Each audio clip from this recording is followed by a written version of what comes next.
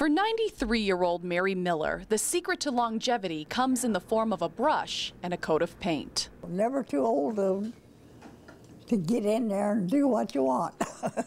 She says her passion for art helped her recover from a life threatening case of pneumonia. I went, was in the hospital and I went down to the waiting room. I saw this magazine and I started going through it and I found that picture uh, and I took it back to the to my room and painted it. Her first picture led to several more. I went out in the hall and painted another picture. And the nurses liked what she was doing, so she was giving them things. And it just, yeah, it's just encouragement. That encouragement quickly turned Miller's life into a world of color. I uh, couldn't stay, you know, just sit around. I wanted to be doing something.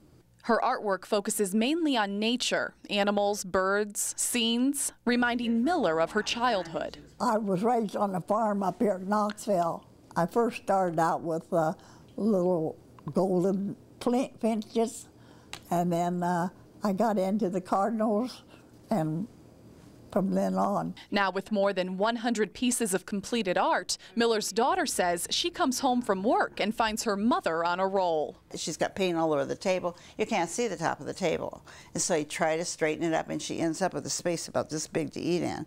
And, you know, you just get pushed aside.